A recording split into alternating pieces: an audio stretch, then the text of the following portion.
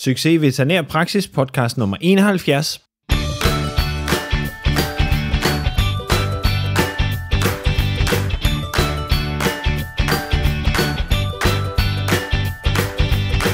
Søren Pejstrup her. Jeg er dyrlæge og har bloggen succes i veterinærpraksis.dk.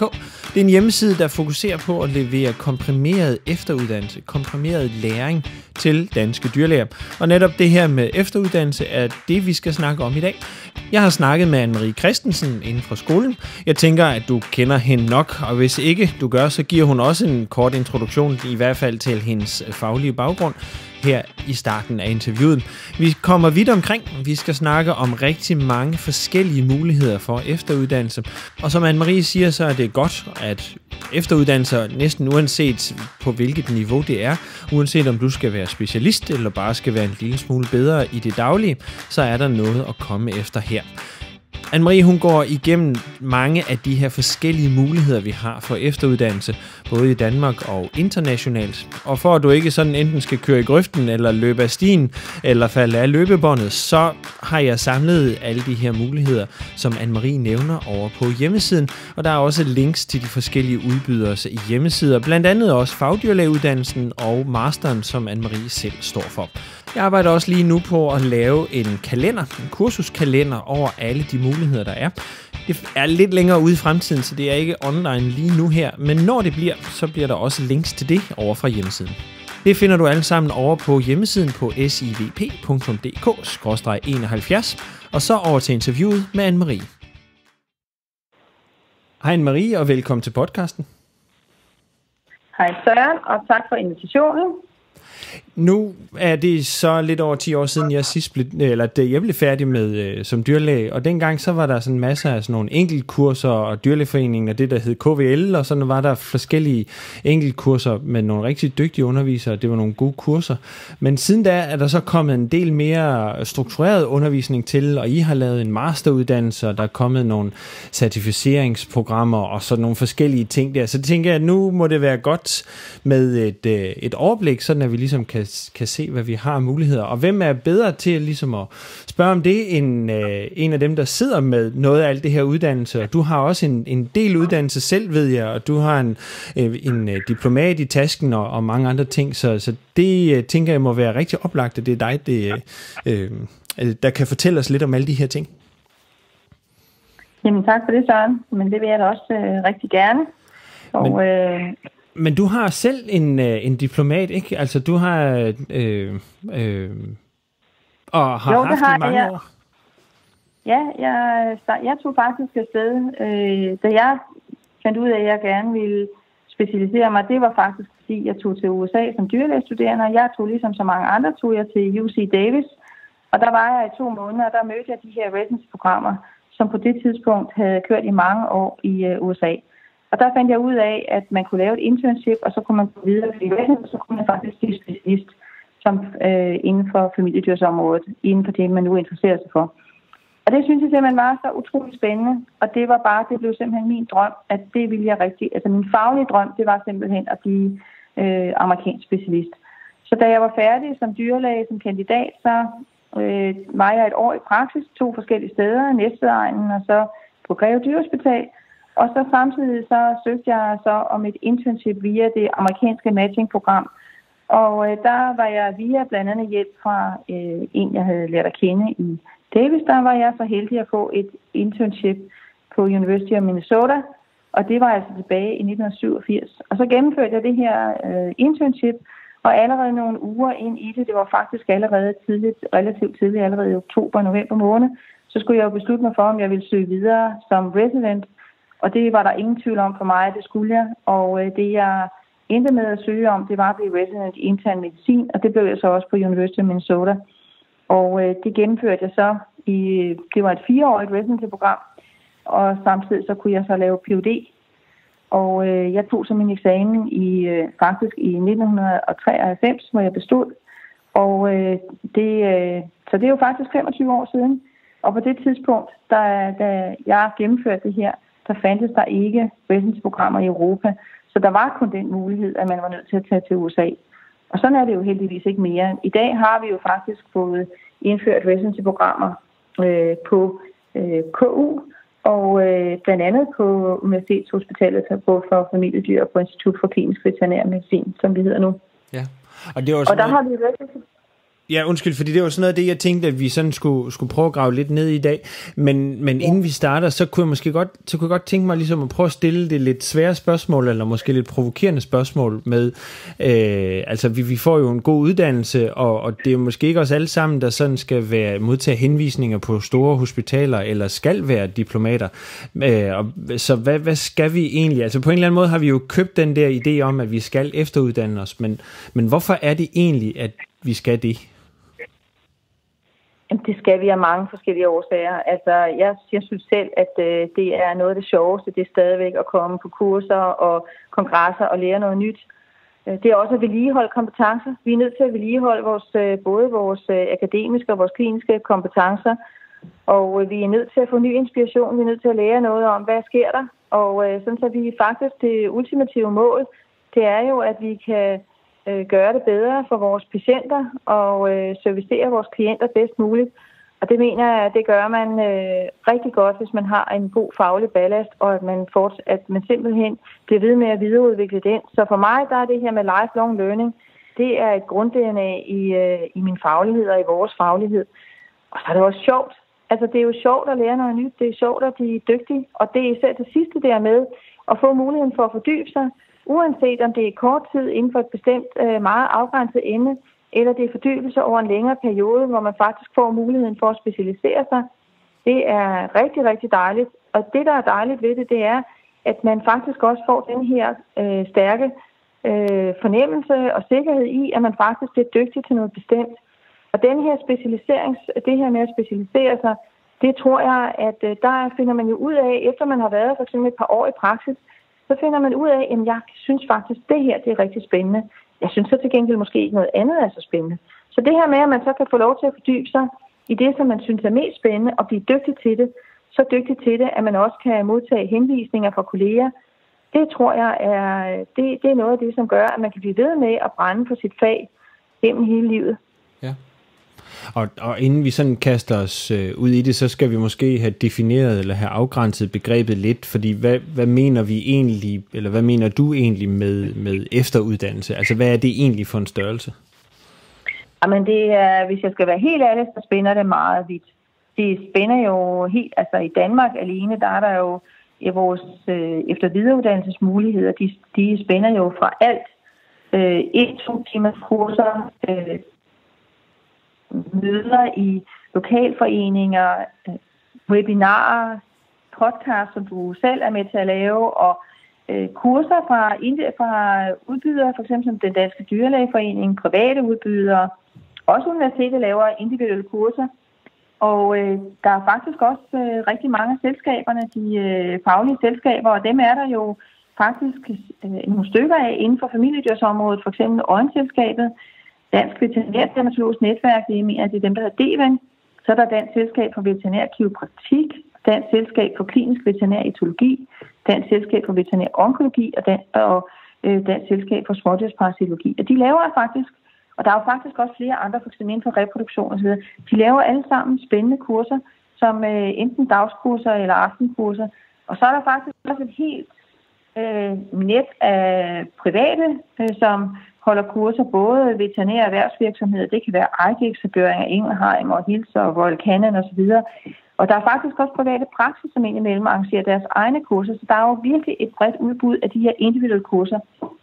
Og så er der den anden, øh, så spænder det jo helt over, at man tager fagdeleruddannelse, eller de her øh, private certifikatprogrammer. Så er der den mulighed, at man kan søge om at blive øh, godkendt som dansk specialdyrlæge, og det kræver en del mere, og der er der en decideret bekendtgørelse. Den bekendtgørelse, den er lige blevet revideret, og den, den ligger der ny nu fra 1. juli 2017. Og øh, der er det skitseret, hvad der skal til for at blive dansk specialdyrlæge. Ikke kun inden for familiedyrsområdet eller forskellige specialer, men faktisk inden for øh, alle områder af veterinærområdet. Og så er der den sidste mulighed, kan man sige, for at øh, den ultimative mulighed, det er jo det her med at blive international specialist enten i regi af European Board of Veterinary Specialists og deres colleges, eller American Board of Veterinary Specialization og deres colleges. Så det er, og der er jo mange forskellige. Der øh, er de, faktisk så blev de første colleges i, øh, i USA, de blev startet helt tilbage i 1950. Og det første college, det var Veterinary Public Health og Anatomic Pathology, det var de første. Og så kom kirurgerne, Smådyrskirurgen, de kom i, eller kirurgerne kom i på 1964, og intern medicin, øh, både store og smådyr, kom i øh, 1971 eller 72 med den retning. Så det er jo mange, mange år siden, at den, øh, at selve den der diplomatvej og residencyvej, den blev defineret i USA. Og så begyndte man på det her i, i øh, Europa tilbage i begyndelsen af 90'erne, 1990'erne. Så det er, det er, det er en anden vej, men den er international specifisk kan jeg også godt fortælle lidt mere om. Den, der er der nogle, der er nogle større krav, og det samme gælder i øvrigt de her andre mere systematiske efteruddannelsesmuligheder, hvor man jo sådan set skal følge, helt overordnet skal følge et program. Man skal som regel til nogle eksamener, man skal opfylde nogle yderligere krav. For nogle af dem skal man måske til udlandet eller øh, lave nogle forskellige ting. Så det er sådan meget, øh, det er mere, det er mere programlagt. Det vil sige, det, det bryder måske også mere ind i ens dagligdag, hvis når man skal hvis man skal gennemføre de her, og mange af dem er moduleret, kan man sige, enten som to-dages kurser, eller som fem-dages kurser, eller eventuelt som to-ugers kurser. Så der er den her modulering, den er jo klar, den øh, kan godt udfordre en, en dagligdag i praksis, men de fleste, som gennemfører det, tror jeg er rigtig glade for det. Ja, fordi det er jo sådan lidt, fordelen ved det er, at, at det ligesom er lidt skemalagt for en, ikke? Og, og man graver sig ned i sådan lidt mere øh, øh, retningsbestemt emne, mere end at man sådan tager enkeltkurser og lidt er, og også til dels jo selvfølgelig er underlagt, hvad der bliver udbudt, øh, om, om det passer ind i praksis og sådan noget. Her der er det lidt den anden vej rundt, der er ligesom en, en retning, og så, så planlægger man ligesom omkring det, men så ender man så til gengæld også med at få en titel, man øh, kan skrive på et eller andet sted.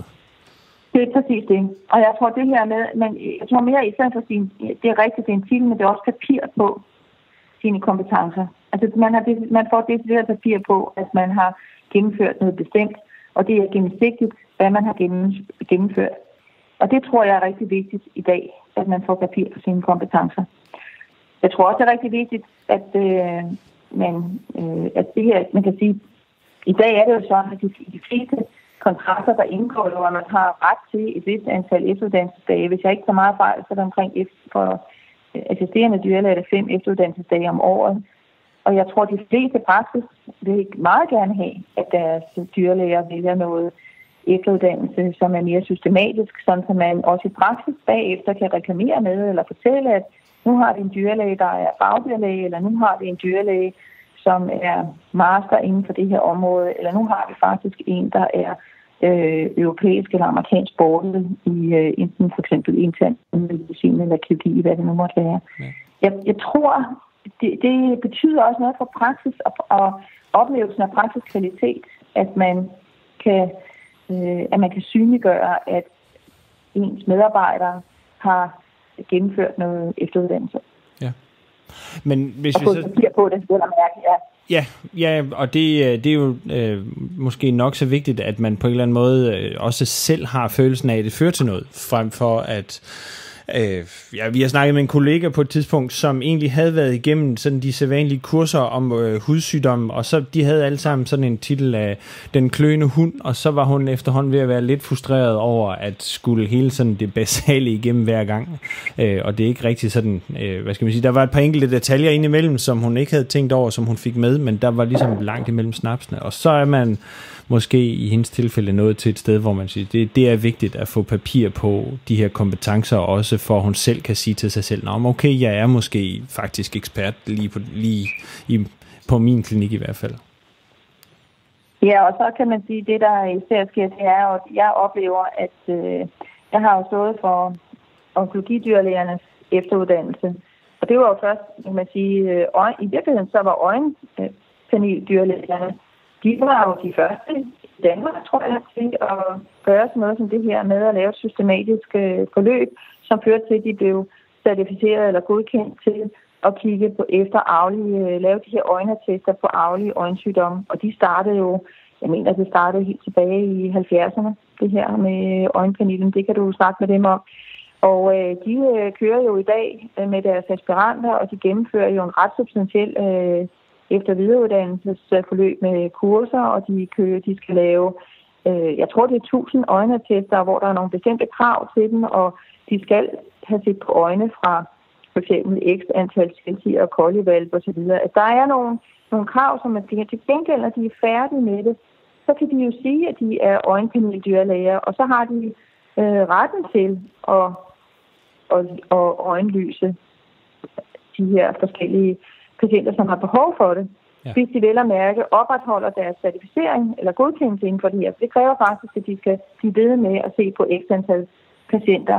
Øh, jeg kender ikke alle detaljerne i det her, men, men det er i hvert fald noget af det, og jeg tror ikke, der er nogen tvivl om det, at man så også får muligheden for at lave noget specielt. Det, er, det betyder også noget. For onkologidyrlægerne ved jeg, at det her efter videreuddannelsesforløb, de var igennem, det hørte jo så til, det startede jo virkelig med, skal vi overhovedet lave klimaterapi i Danmark? Og så, så øh, blev man enige om, at lave, man lavede en, en politikpapir i den danske dyrlægeforening, hvor det så man besluttede, at jamen, det, skulle, det, det var okay, hvis man havde noget efteruddannelse inden for området. Og så etablerede vi den her onkologi efter videreuddannelse, som så var treårig, og hvor øh, vi startede med at have 10 dyrlæger, men i den sidste ende, så var det, øh, jeg mener, det var syv dyrlæger i alt, der gennemførte det, og hvor der i dag er øh, fem dyrlæger rundt i hele landet, som, øh, kan, som er certificeret. Ja, men I har jo også nogle, altså, har nogle særlige kompetencer der, og jo netop kan udskrive, eller øh, ved hvilken uh, særlig medicin, I, der skal udskrives til nogle særlige tilfælde, hvor vi sige, der, der er noget der, øh, selvom jeg, det ved jeg ikke engang juridisk, måske kunne udskrive det, det helst vil holde mig fra det og sådan noget. Altså, så, så der Nej, er ligesom... alle kan faktisk, det er det, det mærkelige, det er, at inden for lægeverdenen, der kan jeg faktisk, så er der kun nogle bestemte typer af læger, som må, speciallæger, som må få lov til at udskrive substatia, men i men dyrlægerne må faktisk alt muligt. Men det, der er godt ved, den, ved at den danske dyrlægeforening tog den beslutning, det er jo, at øh, det kan jo godt være et lidt følsomt område det her, for det er jo også farlig medicin. Så ja, det er rigtigt, at de her dyrlæger, de har fået nogle særlige kompetencer, som er ikke kun at kunne øh, administrere cytostatika, men de har også lært en masse om onkologi i det hele taget, og om onkologiske patienter, hvordan man udreder dem, hvordan man følger dem, hvordan man opererer på dem. Der er flere forskellige ting, og de er jo fortsat med at blive recertificeret, og der er jo nogle krav til den her recertificering, de skal igennem hvert år, øh, også med hensyn til, at de skal have en vis øh, mængde efter videreuddannelseskurser, og de skal også til en international kongres per år for at opretholde deres certificering. Og ikke nok, når de har deres egen certificering, eller godkendelse i den danske dyrlægeforening, de har også en certificering af deres klinik, og de har været igennem sådan en, en, der skulle simpelthen være nogle krav til, hvad der skulle være, og hvordan det lokale skulle være, hvor man indgav cytostatika osv. Ja. Så der, er, der ligger jo, man kan sige, på den måde, så har de så opnået nogle særlige kompetencer, som de så kan bruge til et særligt segment, og samtidig så udfylder de jo den plads, at de kan tage imod henvisninger fra kolleger og øh, være en faglig sparringspartner på lige præcis onkologipatienter. Og det er jo noget positivt, og det er det jo for alle typer specialer. Øh, det er det jo også, øjendyrlægerne, øjenpaneldyrlægerne kan jo mere end en arvelig øjensygdom. De får jo mange kompetencer, og vi har jo øvrigt også så stadigvæk to øh, specialdyrlæger inden for øjensygdommen, det de kalder øjendyrlæger, det, de har jo yderligere nogle kompetencer inden for det her. Så ja, altså i min verden, der er det noget positivt, og så synes jeg også, at jeg har oplevet hen over de sidste mange år, at der kommer en meget, meget større dynamik i privat praksis inden for familiedyrsområdet, hvor kolleger henviser til hinanden og henviser til dem, der, der hvis de, lad os sige, der er en praksis, der er der en, der kan øh, en hel masse inden for ortopædi, jamen så vil nabopraksis henvise til dem, fordi de ved, de kan noget, de kan operere de her patienter omvendt. Så kan det være, at den anden praksis, så kan noget for eksempel inden for onkologi, jamen så henviser de den anden vej. Og det er jo utrolig positivt, at man faktisk henviser til den kollega, der er fagligt mest kompetent. Ja. Og det, det nu sidder jeg sådan lidt udenfor og har ikke øh, nogen øh, specialisttitel eller øh, systematiseret efteruddannelse, men jeg kan ligesom se to sider af den samme medalje her hos nogle af de, måske især yngre generationer af dyrlæger, hvor at øh, på den ene side, så kommer der flere netop, som har de her særlige, specielle kompetencer, som, som er gode til at håndtere henvisningerne, også på en etisk måde, sådan at de, øh, de også kommer tilbage til den henvisende praksis og sådan noget, netop fordi, at de har de her særlige kompetencer og ikke tager sig af noget andet, og, eller ikke er så meget andet, og så, så dem, der kommer ud, måske også har flere muligheder for et efteruddannelsesforløb, og, og hurtigt måske får et blik for, at de også øh, gerne vil kunne et eller andet særligt. Og så jo sådan øh, samtidig øh, også får fornemmelsen af, at det er okay ikke at kunne alting ligesom måske nogle af de tidligere generationer har været vant til, at de ligesom blev krævet af ejerne, fordi der var ligesom kun dem. Øh, der var kun én dyrlæge i lokalområdet, og det var ligesom det, der var, ikke? Og så, øh, så, så, så har man ligesom været nødt til at skulle klare lidt af det hele på en eller anden måde. Men det tror jeg, du har en rigtig god pointe, at vi er gået fra at øh, skulle være jack of all trades til, at øh, der er også en forventning om øh, fra ejernes side, at vi kan mere. Og vi oplever jo ofte ejere, det tror jeg alle, de fleste familiedyrlæger kan skrive under på, især dem, der måske har enten er fagdyrlæger eller taget noget specialisering på anden vis. Og det vi oplever, det er, at, øh, at der er ejere, som simpelthen opsøger specifik, specifikke kompetencer. Jeg tror, jeg selv oplevede det i starten med kræftpatienter, fordi øh, der var mange, der ikke øh, havde, altså, synes, det var i orden at, at gøre de her ting osv. Og så var der ejerne selv, der opsøgte de her muligheder. Det ved jeg, det har de andre onkologidyrlæger jo også oplevet. Men det positive er jo stadigvæk, at øh, vi skal gøre det, der er øh, fagligt bedst for både for dyrene og for øh, deres ejere. Vi skal kunne rådgive ejerne rigtig godt. Og man bliver bare bedre til at rådgive ejerne og til at løfte niveauet i praksis, når man har taget noget efter videreuddannelse. Og, og jeg mener, at selvfølgelig er det øh, ultimativt øh, fantastisk, når man tager øh, de her lange forløb eller længere forløb.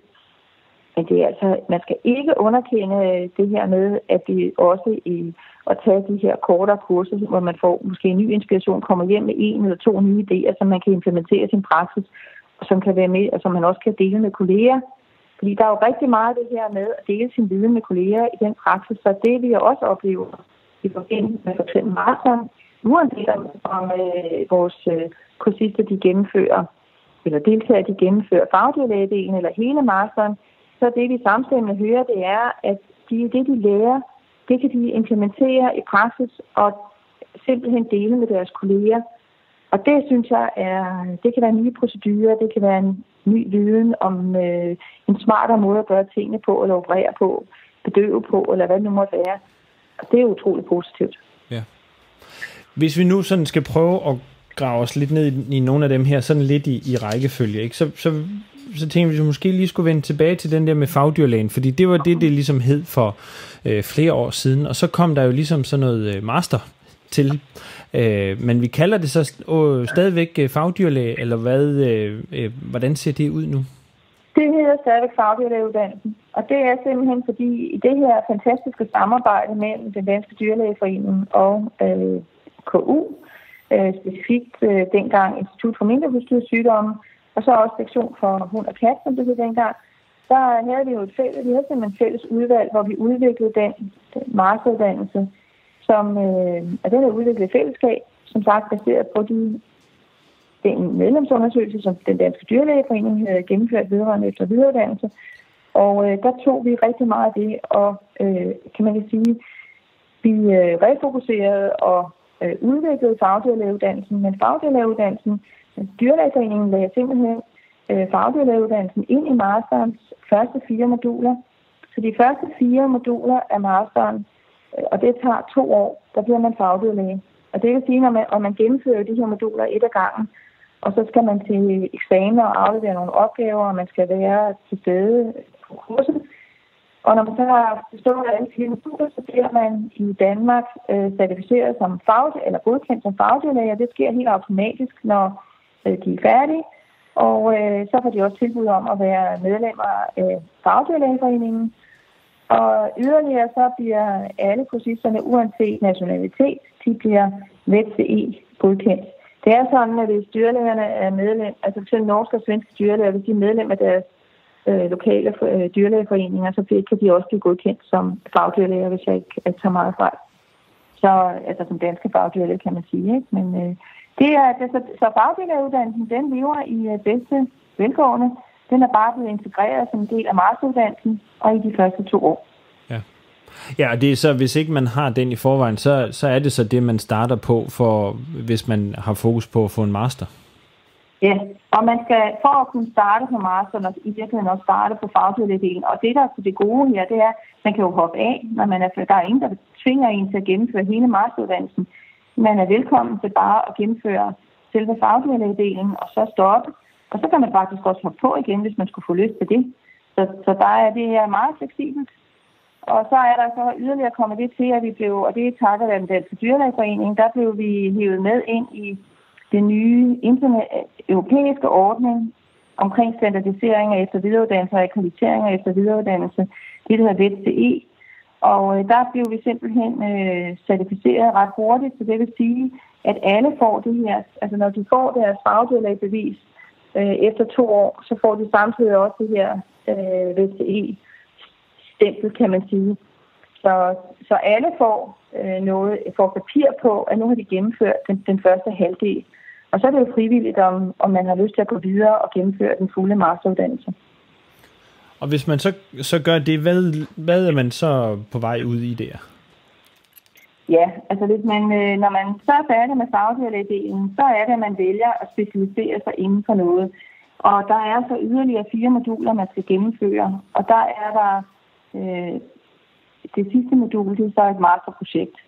Så det er tre øh, moduler inden for specialet plus et masterprojekt.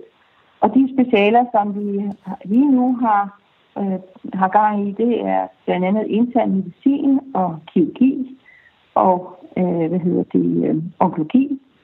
Og vi har nogen, der gennemfører kardiologi, og så har vi nogen, der gennemfører hvad hedder det, øh, imaging eller billeddiagnostik. Det har vi også haft, eller vi kalder det veterinær imaging.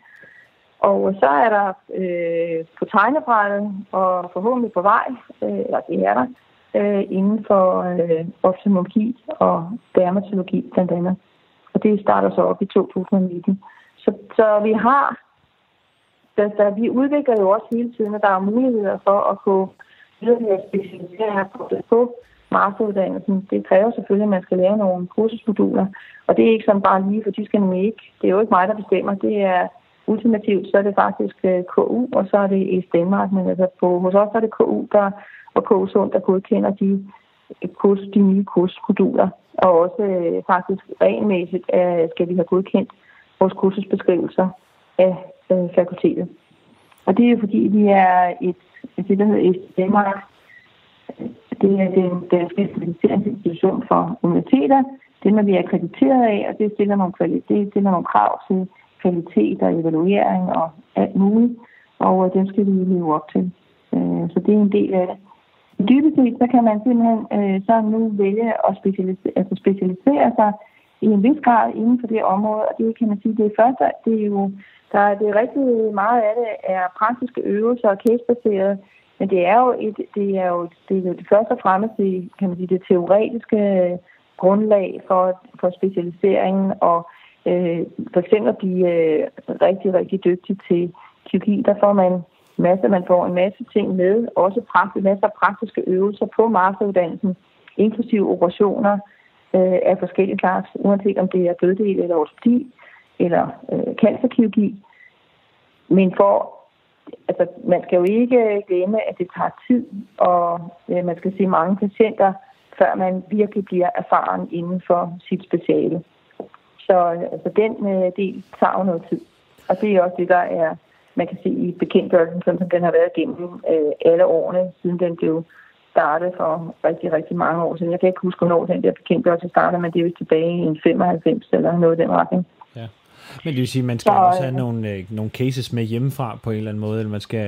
Ja, altså man, man skal, det skal man. Og øh, i løbet af masteruddannelsen, så starter man også en case log, som man så jo, hvis man gerne vil være dansk specialdyrlæge, jamen så kan der være krav om øh, et vist antal øh, cases i en case log, og der skal være en vis beskrivelse af dem, og der skal også være en vis diversitet i dem. Altså for eksempel kan jeg nævne onkologi, men det kan ikke nytte noget, man udelukkende skriver lipomer ind som øh, cases. Den går ikke.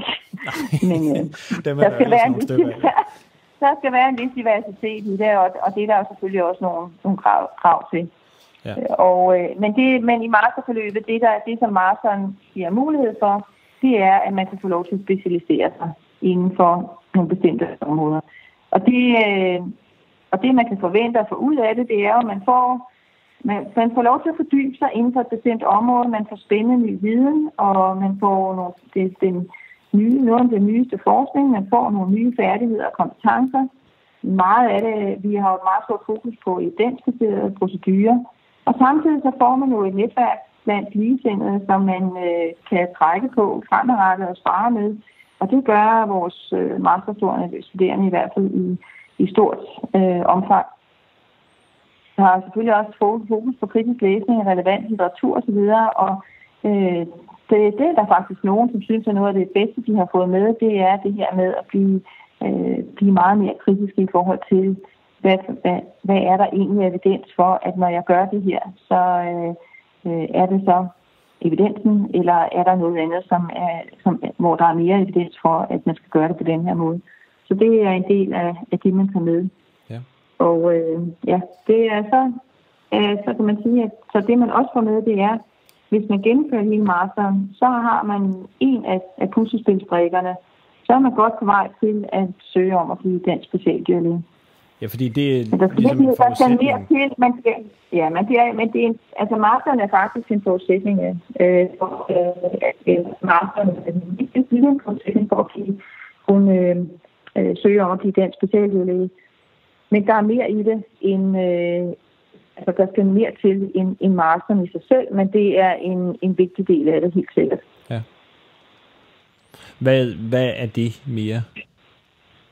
Ja, altså, jeg kan jo nævne nogle af eksemplerne, men så kan man jo også gå ind og kigge på øh, den her bekendtgørelse om at blive speciallæge.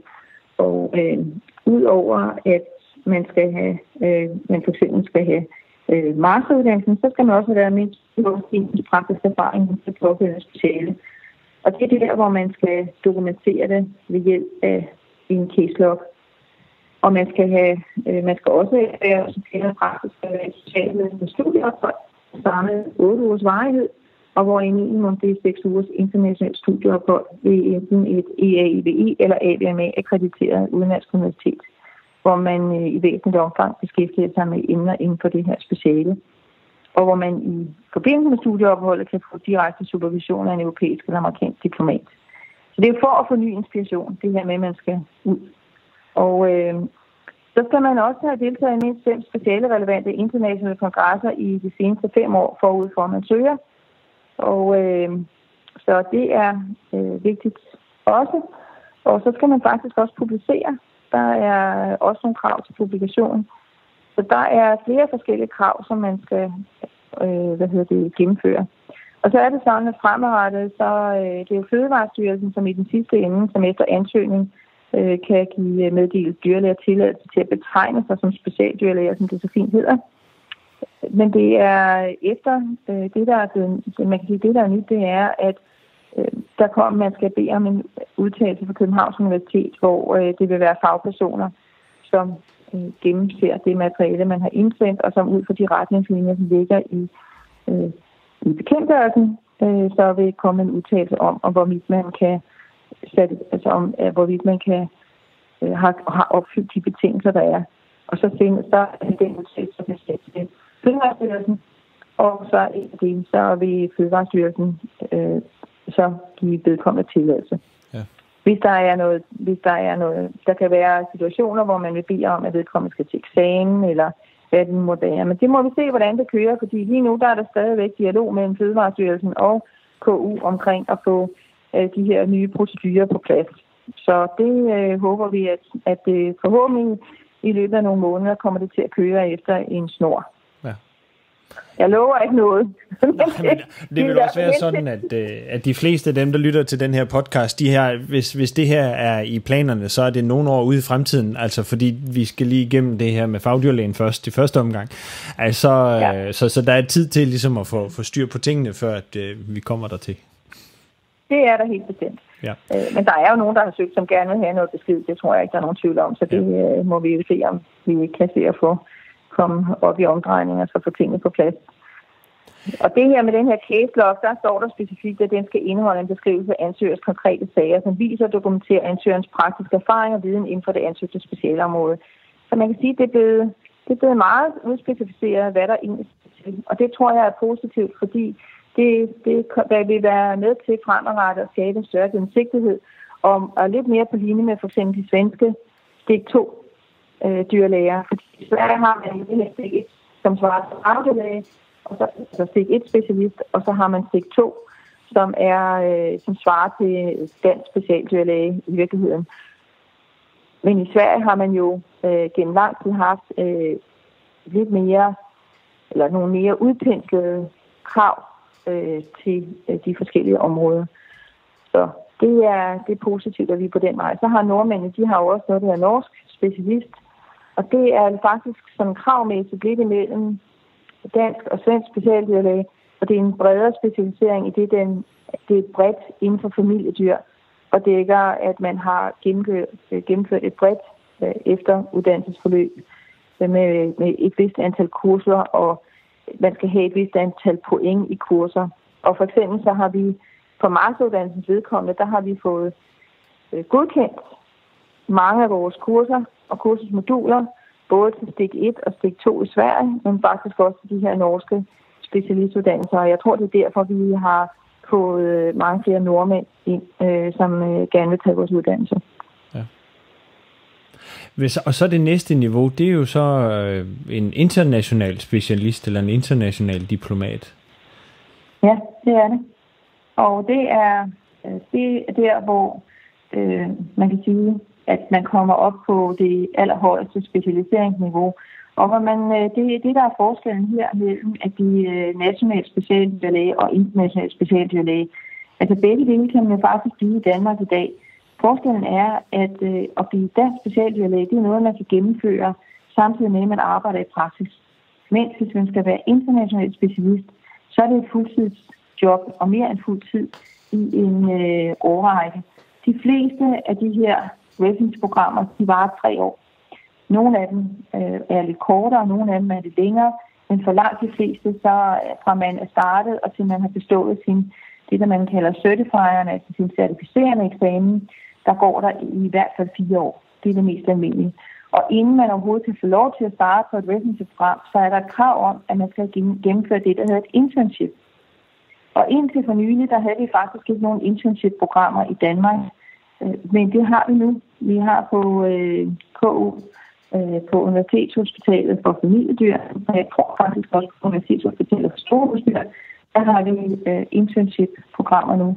Og de er toårige, og det vil sige, at man samtidig med, at man arbejder som klinikdyrlæge, så er man intern, og der er noget træning undervejs i det her med nogle workshops og ting og sager. Så, øh, så nu kan man få sådan et, øh, et internship-diplom og gennemføre et internship i Danmark.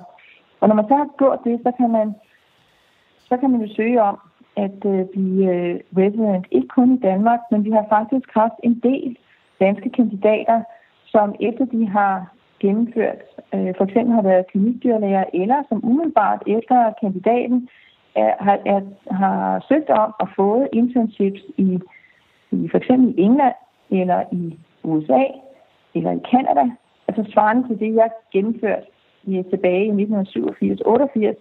Det, er, det var dengang, der søgte jeg det, der hedder AVMA matching-programmet, og tilsvarende så er der nu også, der er stadigvæk det her AVMA matching-program for øh, Nordamerika, for hele Nordamerika, både USA og Kanada, og så er der også, et, øh, der er også nogle programmer i øh, England. Jeg kender ikke så meget, hvordan de øh, publicerer de her i England. Jeg tror, de enkelte universiteter, de annoncerer individuelt deres internship og residency-programmer, men i USA, der er, det, at man, der er man simpelthen nødt til at søge via det her matching-program, og det gør man i slutningen af november, begyndelsen af december måned. Og så kan man prioritere, hvilke universiteter man kunne tænke sig at være intern eller hvis man er færdig med sit internship, hvor man gerne vil være resident og inden for hvad for et område. Så det er bestemt muligt i dag, og der er, nu er der jo øh, her de sidste fem år, fem seks år, der er der jo faktisk øh, nogle stykker, som har gennemført. Øh, blandt andet er der, øh, nu har vi tre, som er blevet bortet, amerikansk bortet i intern medicin, og vi har en, der er blevet amerikansk, eller to, der er blevet amerikansk bortet inden for øjensygdom, altså oftalmologi. Så det er jo utrolig positivt. Og så har vi jo også nogen, der, bliver, der er undervejs eller er blevet borte herhjemme. Den første, som blev borte i øh, uh, intern medicin i det europæiske koldesystem uh, øh, herhjemme, det var Lisbeth Ram Jessen, som blev borte i i Companion Animal Internal Medicine. Så der er jo nogen, der er på vej, og der er også øh, nogen, der er på vej til at gennemføre forskellige webprogrammer. Det største problem, vi har herhjemme, det er, at der er ikke den samme funding som, er, som i udlandet. I England og USA, der er det jo sådan, at de her øh, internship og residency-programmer, de bliver betalt af universiteterne, og så man får løn for at gennemføre dem. Den løn, man får, men jeg vil mere kalde det et scholarship, end jeg vil kalde det en løn, fordi reelt, det kan man godt grine af, men man bliver nødt til at være ærlig. Altså, da jeg selv startede på mit internship, der fik jeg 16.000 dollar om året, og det var altså ikke mange penge, selv ikke dengang. Og øh, da jeg så blev resident, så steg det til 18.000 dollar om året. Så det var, det var en påre affære, det her med økonomien. Det er stadigvæk sådan, i de fleste steder i England, der får man mellem 10 og 12.000 pund, hvis jeg ikke så meget fejl, måske 14.000 pund. Det er stadigvæk sådan, at det, det, man kan sige, det er mere betegnet som et, et scholarship. Mens i Danmark, der får øh, en resident eller en intern får jo fuld løn på niveau med, med andre dyrene. Godt nok statens løn, men den er jo heller ikke nødvendigvis noget Nej, nej, det mindste er jo lidt pension og sådan noget. Altså, fordi det, det bliver der ikke meget af, hvis man kun har 140.000 at gøre med. Altså. Men det er stadigvæk en meget højere løn, end, øh, end, end det er i for eksempel England og USA. Ja. Så det er, men det er i hvert fald muligt at gennemføre de her residence-programmer. Så der er sådan, om det, men det, der er forudsætningen, det er, at man har, man har lavet et internship, og så skal man så søge om at blive resident, og det er meget, meget kompetitivt. Det er også meget kompetitivt at blive intern i øh, USA, for eksempel på universiteterne. Der er, jeg kan selv huske, da jeg var derovre var med til at kigge på de her ansøgninger, altså der kunne være 150-200 ansøgninger til fem stillinger, altså til fem internships. Så det var meget kompetitivt. Og det tilsvarende, at residency-programmerne er også meget kompetitive. Så det er, det er klart, at øh, det, er ikke, det er ikke for alle, og man skal have nogle ret høje, øh, der er nogle ret høje krav til både ens eksamen og mange andre ting, øh, før man kan slippe igennem det der nåleøje. Men når man så gør, så får man simpelthen også øh, verdens bedste specialistuddannelser. Øh, det gør man virkelig. Og jeg synes også selv, at vi er på et rigtig godt niveau inden for de områder, hvor vi øh, uddanner specialister, også fordi vi har jo diplomater efterhånden inden for mange områder i Danmark. Men vores største problem, det er i virkeligheden at skaffe funding. Altså, der er ikke noget, vi heller vil end at have øh, regelmæssige øh, øh, annonceringer og mulighed for at gennemføre øh, vækningsprogrammer. Intensivt, det, kan man, det er der en større mulighed for nu. Ja. Og så er det sådan, at når man så skal, skal gennemføre de her programmer, så også, når man, altså, når man styrer de amerikanske og også de andre europæiske, for eksempel i England, det er jo øh, det er mega hårdt, og det skal man være parat til. Altså man skal være parat til, at man knokler fra morgen til sen aften, og der er der er simpelthen, der, der hjælper ingen kære mor. Altså, der er, bare, der er kun én vej, og det er ud over stepperne. Og kravene, de er meget høje og der er en forventning om, at man læser hver dag, at man sætter sig ind i litteraturen, og man møder velforberedt hver dag, uanset om man har været på vagt eller ej. Så det er, noget meget, det er jo en helt anden verden end øh, den, de arbejdstider, vi normalt har i Danmark. Så det er, det er en helt anden, det er en helt anden måde at gøre det på. Til gengæld så bliver man, så bliver man virkelig, virkelig dygtig. Altså, det er, det er også helt fantastisk at få den mulighed at få lov til at fordybe sig på den måde inden for et bestemt område og opleve, hvor øh, faktisk hvor meget man vil ender med at have lært at kunne efter de her øh, fire år, men også når man har været til eksamen. Så det er, så det skal meget til. Men jeg vil absolut anbefale, at hvis man virkelig har lyst til at blive specialiseret på et internationalt niveau, så er det, øh, så er det, det, er det hele værd. Det vil jeg sige. Det tager tid, og man skal, men det, øh, det kræver meget, fordi selv, altså, også i de europæiske skal man jo ikke kun øh, bruge meget tid på det, man skal også altså, være der meget, have meget klinik. Altså, det er jo 80 procent af ens tid, den er i klinik, men man skal også lave et forskningsprojekt, man skal ud og præsentere på internationale kongresser mindst to gange. Man skal publicere i internationalt øh, peer-review artikler øh, i intern medicin, som jeg kender bedst, og i onkologi, som jeg kender bedst. Der er det to artikler, man skal have med. Så skal man lave en case log af, øh, afhængig af specialet, fordi det er jo forskelligt for de forskellige specialer. Men mange af dem, der er det 450-500 patienter, og det er nogle, øh, der er krav til, hvad for en type patienter, hvor mange der skal være af hver slags osv., så, så det er ikke bare 450 patienter, som øh, kontinuerligt det er. Der er nogle krav til det. Så skal man øh, lave en aktivitetslog, og man skal lave en procedurelog, man skal øh, fortælle, hvor mange præsentationer man har lavet, og at om man har deltaget i øh, forskellige, øh, også efter videreuddannelsesaktiviteter osv. Så der er rigtig mange krav. Når man så øh, skal man lave nogle cases, og når man så er færdig med, øh, når man så har øh, samlet alt det her sammen, så skal man ultimativt, så skal man jo indsende det, man kalder credentials. Og det er, de skal så godkendes af det enkelte college. Og når de så er blevet godkendt, så får man lov til at gå til eksamen. Og der er to sæt af eksamener. Den første eksamen på de fleste colleges, der er der først en general eksamen, og øh, den kan man tage efter cirka halvandet to år, øh, altså hvor man har været i gang med programmet i to år. Og så er der den certificerende eksamen, som er der, hvor man opnår sin specialistgrad, hvis man består. Og øh, den er, tager man typisk efter 3-4 år. Men der er det, at man kan ikke få lov til at gå til eksamen, før man har fået godkendt sine credentials. Og der er faktisk nogen, som aldrig nogensinde får godkendt deres credentials. Der er også nogen, der øh, bliver godkendt og får, øh, bliver det, man kalder øh, board qualified. Det vil sige, at man, har, man er kvalificeret til at gå til eksamen, og som går til eksamen, men som ikke, eller som ender med ikke at gå til eksamen, så er board qualified, men ikke tager den sidste del af det. Så det er også en mulighed. Ja, så har man uddannelsen, men så ikke speciale titlen. Nej, og man er jo stadigvæk hammerne dygtig, og i virkeligheden lige så dygtig som, som dem, der øh, går til eksamen og består den, men altså, man har jo bare ikke papir på det. Og det bliver man jo nødt til at kende, at i vores verden, så, øh, så tæller det jo, at jeg tror, det kommer til at, at tælle mere og mere, det her med at have papir på, på de kompetencer, man nu har.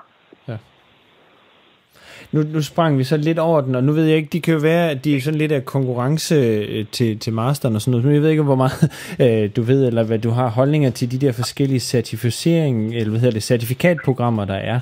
Øh, hvor, hvor i den her liste hører, det, hører de til? Ja.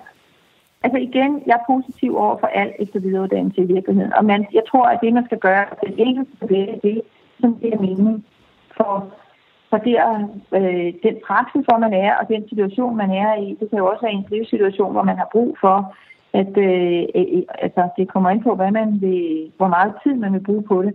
Men de her certifikatprogrammer, der er flere forskellige, og øh, der er, øh, det er jo startet oprindeligt i England, og det er Royal College, hvis man ligesom starter fra toppen af, så er det Royal College Veterinary Surgeons. De øh, lavede et certifikatprogram, og de lavede tre niveauer.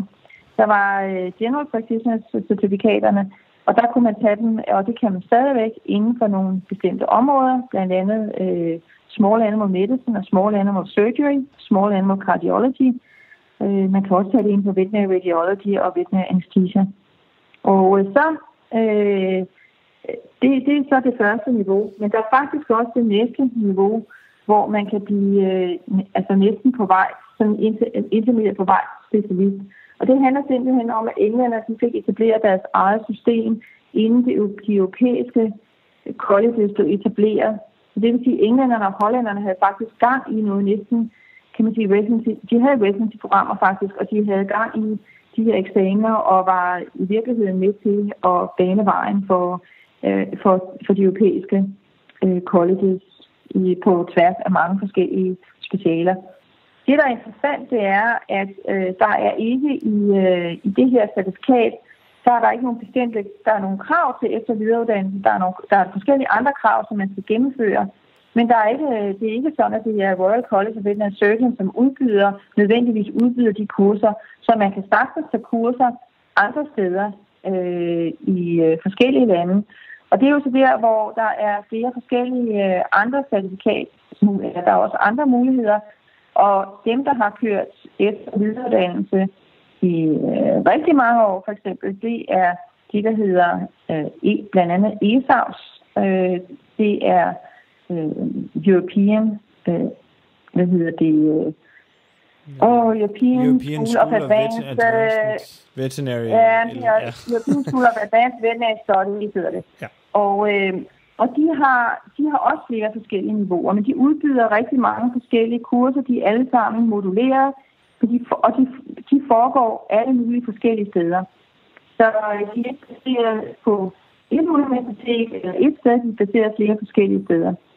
Og så er der Improve, det er jo et firma, som et privat firma, som jeg ved er startet, jeg tror, er fire mennesker, og de har været utrolig dygtige til at lave et rigtig godt program, og det er nogle, der er ingen tvivl om, det er nogle gode kurser, med nogle engagerede medarbejdere. Så det er nogle dygtige undervisere, der er på alle de her kurser. Og, øh, det, og man kan sige, det er jo, øh, der er nok den forskel, at øh, nogle af dem er mere teoretiske. Altså de, det kan godt være casebaseret, men de er ikke så praktiske. Mens øh, andre typer af efter- og videreuddannelse, for eksempel den master, vi laver, den er meget praktisk.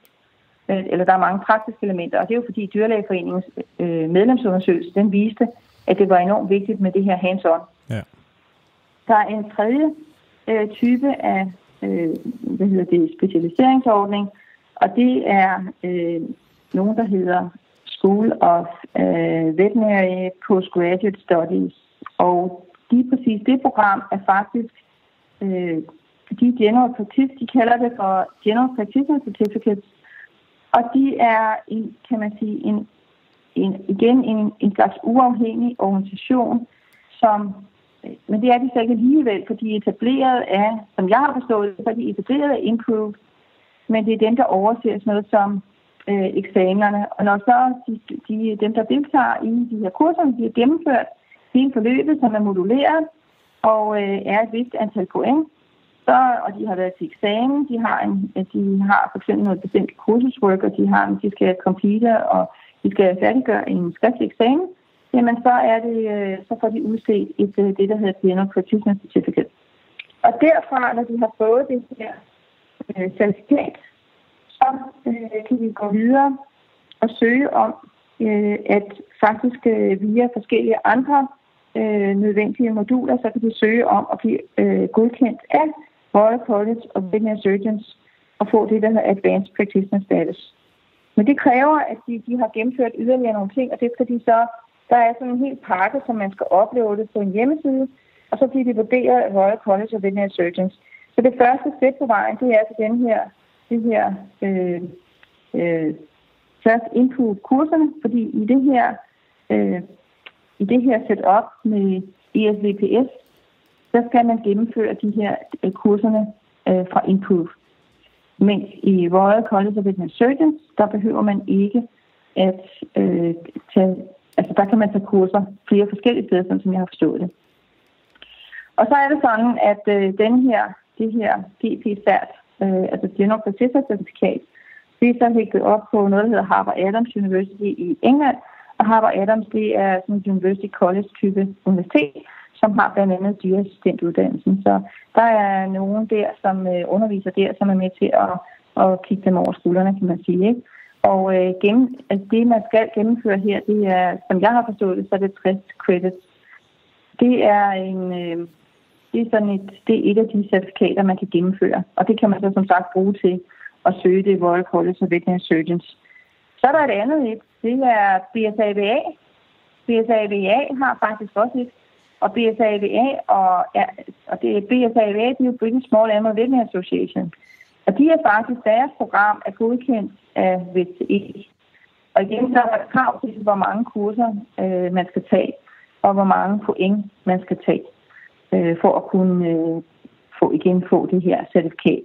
Og der er en vis, øh, man kan sige, det ligesom øh, øh og stik 1, de er øh, umiddelbart, øh, kan man sige, øh, sammenlignelige så har BSABA og RCVS, de har også lavet et statement, hvor de siger, at de øh, anerkender hinanden. Kan du ikke lige hurtigt fortælle, hvad er det der VET-CE for noget? Det er altså et virkelig godt initiativ og forsøg på at få standardiseret det. Også via læringsmål og sådan nogle ting. Hvad skal man egentlig hvad skal man forvente, hvad, kan man, hvad skal man kunne, når man har gennemført sådan og sådan. Altså for eksempel for masteruddannelsen, så måtte vi, øh, da jeg var nede til det der akkrediteringsshow øh, der nede i Bruxelles og møde op foran, de der, foran de der udvalg og skulle til eksamen for uddannelsens vedkommende, det var så for de første fire moduler der, de, de endte jo så med kun at ville have de fire moduler, men vi var nødt til at lave et e-læringsmodul i hygiejne, fordi øh, det, de sagde, at det, er, det kan godt være hygiejne, hvis jeg sagde, at det er ikke relevant for det danske og skandinaviske marked. Så siger de, ja, men hvad vil du gøre, hvis du får en dyrlæge, som deltager fra Litauen eller Polen eller et eller andet sted? Det er bare en Rumænien, det er bare et helt andet hygiejneniveau, og de er nødt til at kunne det Så jeg har simpelthen, vi har måttet øh, udvikle et engelsk modul, hygiejnemodul, for at få godkendt vores, øh, akkrediteret vores uddannelse af VTE.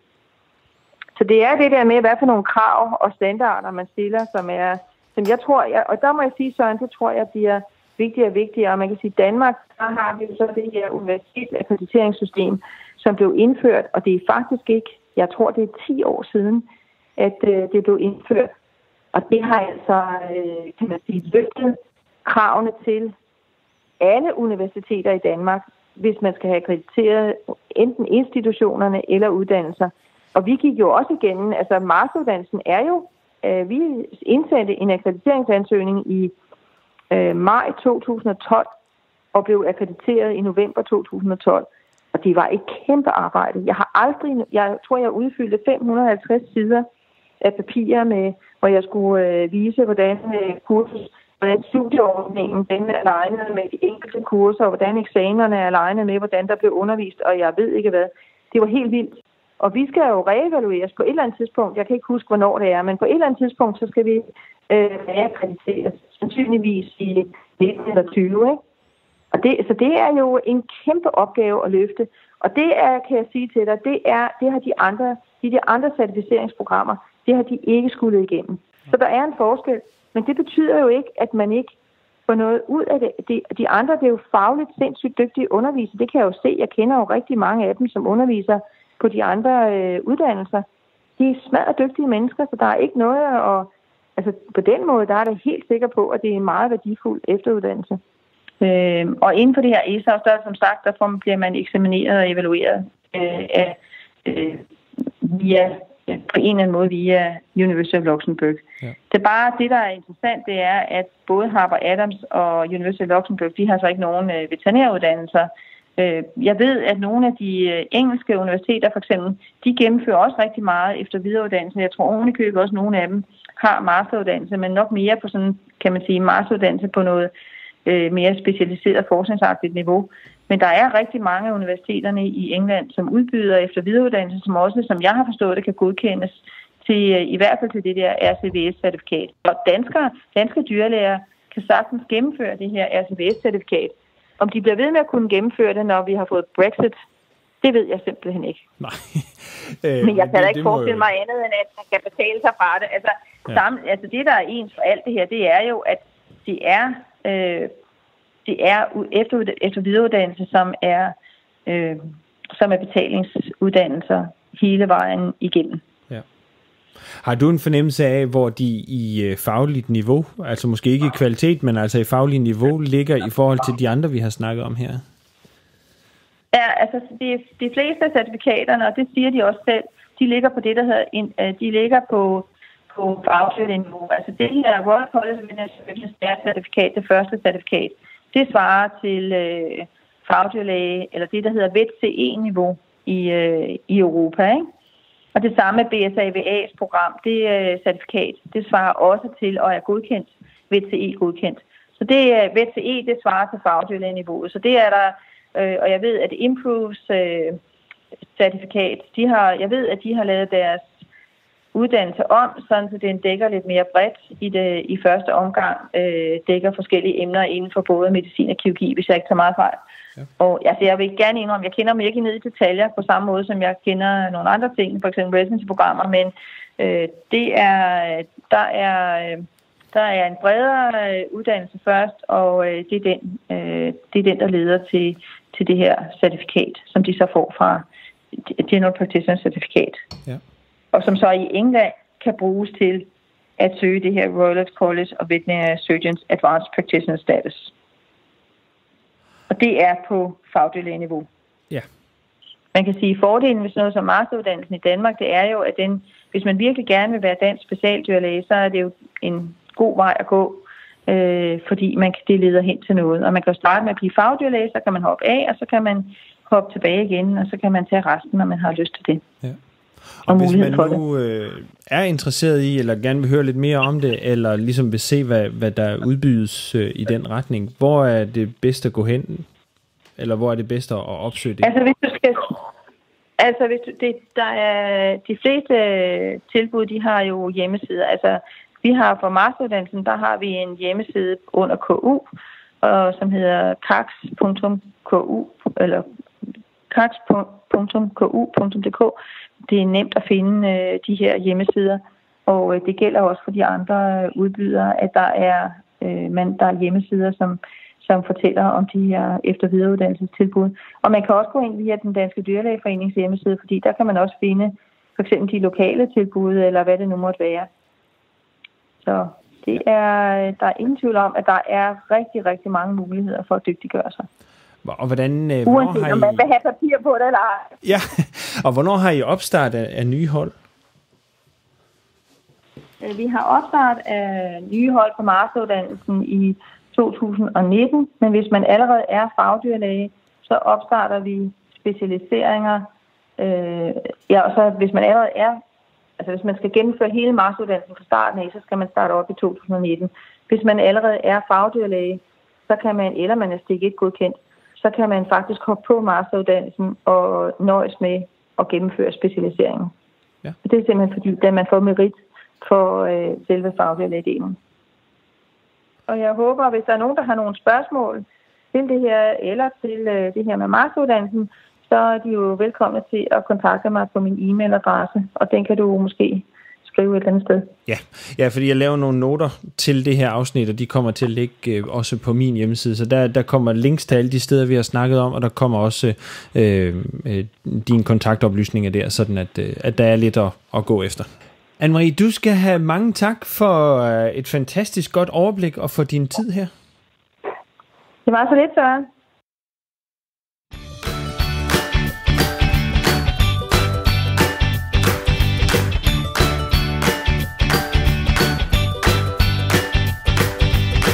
Jeg lovede Anne-Marie at sige, at hun er jo studieleder og ikke studievejleder. Så øh, hun vil helst ikke have en masse e-mails, hvis du sådan er i tvivl om, hvor din faglige karriere sådan skal bære hen, og, og skal have lidt råd og vejledning på den front, sådan i alle de her forskellige øh, certificeringer og forskellige kursusmuligheder. Fordi, som hun siger selv, så kender hun ikke dem alle sammen så indgående, at hun kan vejlede, eller for den sags skyld har tid til at vejlede en hel masse i det. Men har du spørgsmål til de uddannelser, hun står for, altså fagdyrlægen og masteren, så vil hun naturligvis meget gerne hjælpe med at afklare, om det er noget for dig, og hvad det kræver af dig, og hvilke muligheder der er for netop dig. Og i det tilfælde, der må du meget gerne skrive til hende. Hendes e-mail er skrevet ind sammen med links og noter til alt det, vi har snakket om i dag. Husk også at blive tilmeldt nyhedsbrevet, hvis ikke du er det i forvejen. Der får du nemlig samlet nogle koncentrerede e-mails, der handler om nogle af de rigtig svære faglige emner, vi bliver udsat for i almindelig klinisk praksis. Det bliver leveret direkte til din inbox, hvis du tilmelder dig. Du finder det alt sammen over på hjemmesiden på sivp.dk-71 sivp.dk-71 Tak fordi du lyttede med.